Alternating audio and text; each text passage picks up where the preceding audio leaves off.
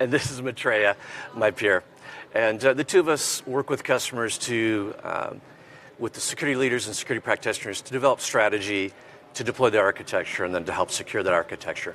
And so, what we're going to talk through today is kind of a quick snapshot of how you might think about controlling or doing compensating controls when you're talking about AI specific applications. So, just to kind of zero us in and ground us, what we're talking about in terms of first principles today is vulnerability or threat modeling. Okay? And so many of you might be familiar. Is anybody familiar with Adam Shostak? Okay, a few people in the crowd, right, who've done vulnerability work before. So Adam Shostak has uh, these four simple questions that he asks, you know, when you start to build out your vulnerability matrix, right? And so we're going to touch on the first three of these today, and that's what are we working on, what can go wrong, and what are we going, what are we going to do about it? Okay, so you might be doing this exercise uh, to your right, to uh, my left. Over here is a, a, security simulation exercise where they're doing tabletop here down down the way, and that might be something that you would do as you start to build out that tabletop exercise, right? Is to look at your industry, your specific environment, and think through well, what are the types of vulnerabilities that are most common, you know, to customers like us, right? As we build out that tabletop. So, um, anybody see the uh, keynote this morning? Raise the hands. Most of you, all of you? Okay, great. So you'll have seen this before. So uh, our Amazon CISO, Steve Schmidt, uh, walked through this. I'm just going to build it out quickly since most of you are familiar. So what you're seeing here from scope one through scope five, so from left to right, is the least amount of interaction with your data as a customer to the most interaction because you're actually creating the model yourself. So, what we try to do with the scoping matrix is give common language. Frankly, in the first few months, as we received a lot of questions or were working with customers and partners, what we noticed was kind of a lack of specificity. What are we talking about? It was just sort of like, how do you secure AI, right? A, which is a big bouncy question, right? So, that what the matrix does is it helps you zero in on well, what type of application are we talking about specifically, right? So on the left there, you have a consumer-based application, uh, and all the way to again to a model that you're completely building out yourself. So I'll walk through the first two scopes, and then Maitreya will bring us home with scopes three through five. So let's talk about the, the initial scope for a consumer application, right? So for consumer application, candidly, you're going to be using the same coarse grain controls uh, that you would have used previously. Okay, so there's not a lot of interaction in scope one. Um, in scope two, you do look at again standard things like uh, cloud access security brokers or CASB, web proxies, data loss, uh, data mitigation strategies that you'd use in scope two. And uh, these are a little bit now we're kind of getting narrower, right? So these are more fine tuned. So let's talk about what this might look like, right? So we use one of our applications just because it's easy to talk through rather than choose somebody else's application, right? So one of the things you might do at the scope two stage is to look at role-based access controls. And again, these are not new ideas, right? So what we're saying really in scope one and scope two is it's a little bit of business as usual, right? These are just the same best practices or, or best procedures that you've used in your environment previously.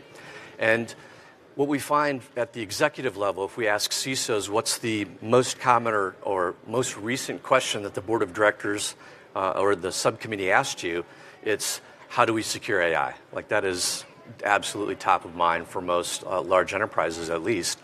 And what we want to do here is reassure the community, but, but probably your customers as well, that really the generative AI applications themselves, particularly at scope one and scope two, really are not fundamentally different, right? And in the wild, as it were, we have not seen really a host of new vulnerabilities. So, in other words, the same best practices or the same top 10 that we've been talking about for a number of years, those are still the best things that you can do to ensure that you're safe. So, let's just talk about role based access control or RBAC. So, here's an example where how you're going to be using the, the AI tool or application itself will help determine what kinds of controls do you need to use.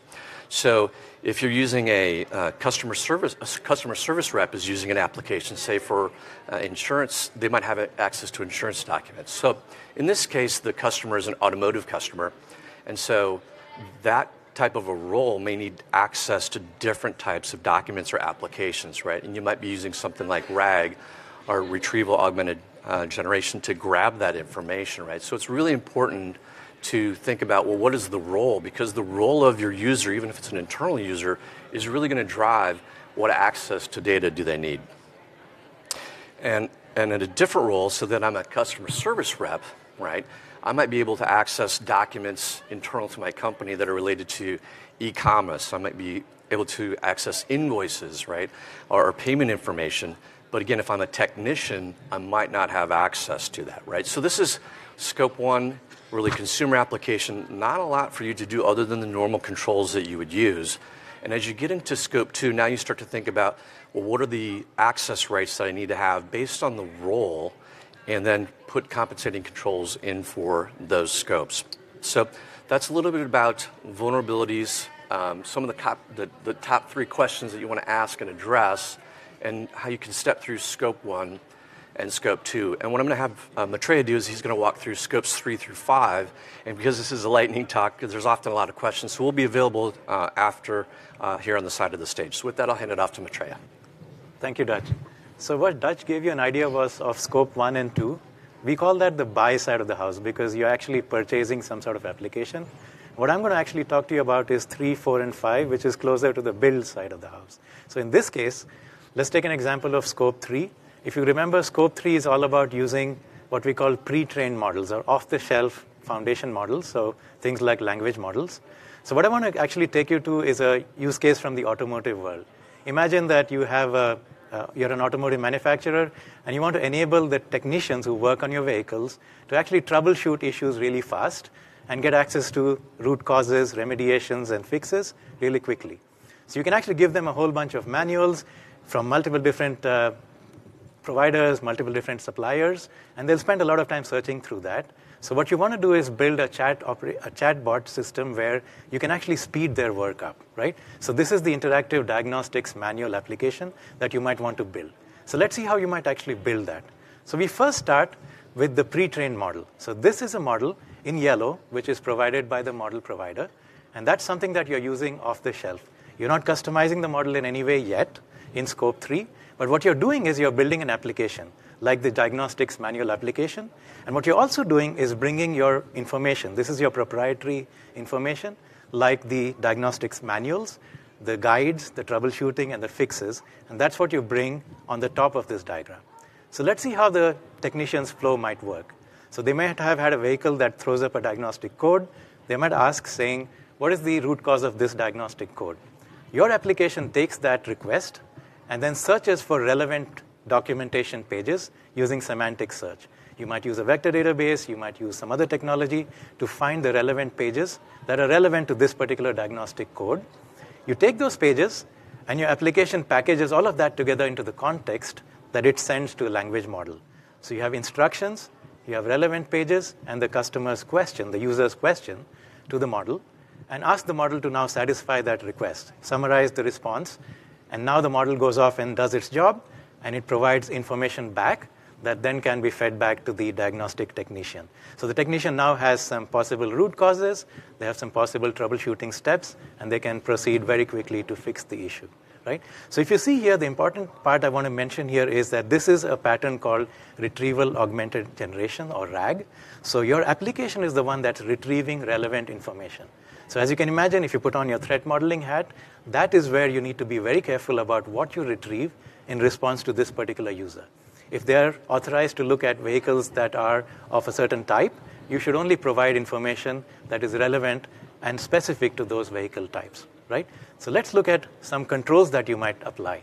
So just like any application, this happens to be an application, you might expose it on the web. So traditional threat modeling, traditional application security absolutely applies. But because it happens to be a generative AI application, you may have some additional considerations. So for example, you want to make sure that if you have a model, such as the large language model that we had in the previous diagram, you want to make sure that the access control to that model is protected. You control access to the inference endpoint, to make sure that only authorized applications are allowed to invoke the model, both for security as well as for cost reasons, because it costs you every time you invoke the model, right? Now, another thing to remember is today's technologies does not allow you to have fine-grained access control on the data that the model was trained on. So if you had two data sets, the model was trained on that. If you make an inference call, you can't actually say, please answer based on precisely this data set. You can't have a hard control. So, sort of the rule of thumb here is if something has made its way into the model weights, it can and will come out. So don't use your model as your security boundary. Use your application to enforce those boundaries using the retrieval stage, as we saw, right? Filter inputs and outputs. I'll show you some examples of that. You want to make sure that the input and the outputs are appropriate to your use case, and some harmful or inappropriate content is filtered out, and I'll show you an example of that. And then some traditional technologies that you might have used to protect your infrastructure, things like WAF, to do things like rate limiting, as well as to look at things like SQL injection, still do apply to scope 3 applications as well. So to show you an example of how you would filter harmful content, this is a screenshot from Bedrock Guardrails feature, which shows you how you can set these sliders to filter and detect harmful content of different types. So for example, toxicity, hate, or even attempt to inject prompts into the uh, request can be detected and you can actually reject such requests so you protect your application from being affected by these types of attempts right? So again we recommend that you look at the controls that your services provide and turn those on right? You have to actually explicitly turn these guardrails on and we highly recommend that you look at that. Now let's imagine that you have used that application for a while and you realize that it's giving answers but it could be much better if it knew a lot more about automotive terminology, right? So there's specific product names, specific technologies, and a general model may not have been trained on that. So what you do is you take the next step to say, I'm going to fine tune the model to now introduce it to automotive terminology and to example chat sequences so it knows what I'm trying to do better, right? So that's the step you take to now emerge into scope four, where you're fine tuning the model. So you again start with the model that was trained by the model provider. This is the off the shelf model. But then you introduce terminology, things like glossaries, your sample uh, transcripts, and then you fine tune the model and customize the model on that particular data. What's happening here is now the model weights change. So they actually now represent some form of the data that you introduce to that. And that is why we color this in pink to denote the fact that this is now in your control as a customer. The application pretty much stays the same. And so the flow looks like this. It's exactly the same as before you retrieve relevant pages, you provide the instructions, but the response that comes back can be better or more suited to your domain because the model has been exposed to terminology and examples, right? So your enhanced application can do a better job of responding to your technicians with automotive terminology that perhaps the off-the-shelf model did not know about, right? So you have an enhanced app which is now using a fine-tuned model as you can see in the middle, right? So since this is still an application, which is a derivative of scope 3. A lot of the concerns that you looked at in scope 3 will still apply, but the big difference here is that you have a fine tuned or customized model. This model has weights that represent the data you supplied. Those could be proprietary data, those could be intellectual property. So you really want to protect that fine tuned model artifact as well as protect the fine tuned model's inference endpoint to a higher degree because only applications that should be allowed to invoke that model should be given the permissions to do so right? So you need to make sure that you protect those fine-tuned artifacts and the model inference endpoint. And with AWS, if you're using Bedrock to do your model hosting, you can actually do that very efficiently using IAM, as we'll see in this example here. So this is a snippet of an IAM identity policy, which actually has two actions, if you'll see. The first one actually grants access to a customized model. So when you customize a model, you actually get a model ID. So you can actually be very granular and say that this entity or this identity can actually invoke this particular model, and you can deny all others if you want. And the second thing you can do is you can actually encrypt those customized models using AWS KMS keys that you control.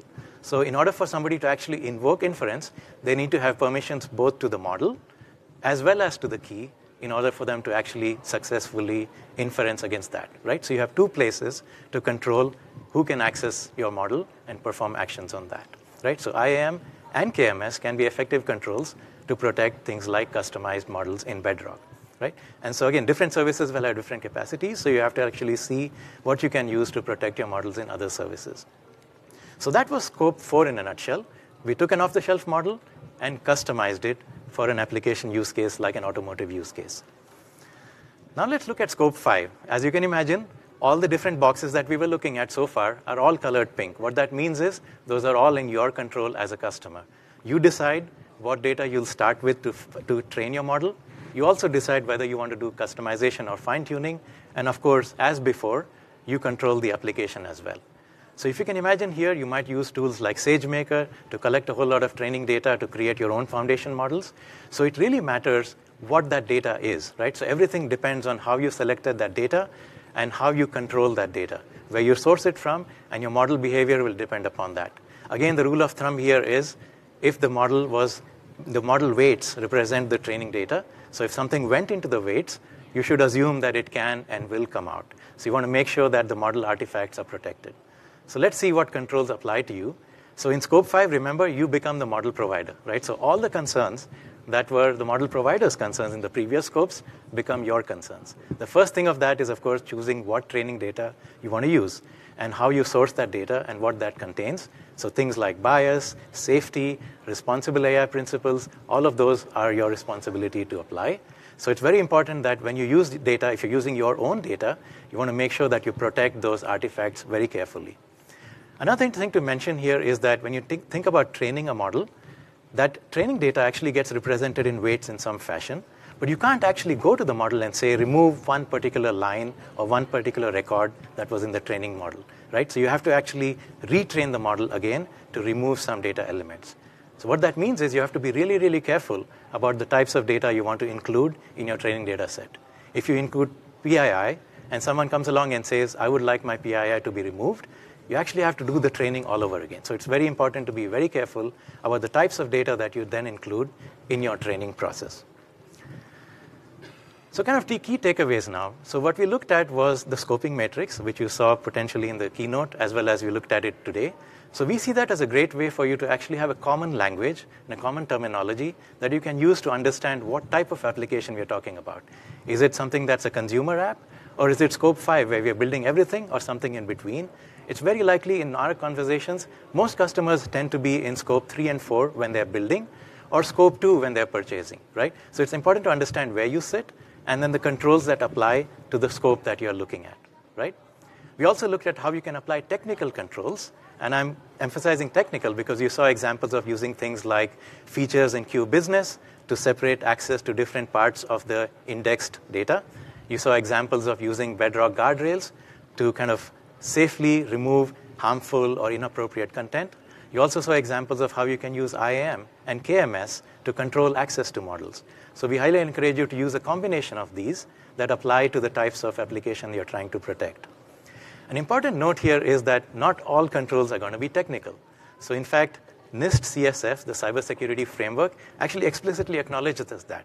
In the latest version 2.0, they actually introduced an entirely new function called govern, which is all about processes, people, training, basically preparing your organization to adopt technologies in a safe manner, right? So it goes way beyond technical controls. So I don't want to leave you with the impression that controls are always technical.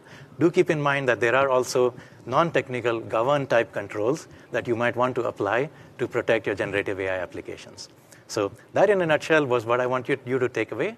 So use the scoping matrix, use the controls, and protect your application based on the scope that it applies to. Thank you. We'll be around at the later for any questions that you might have.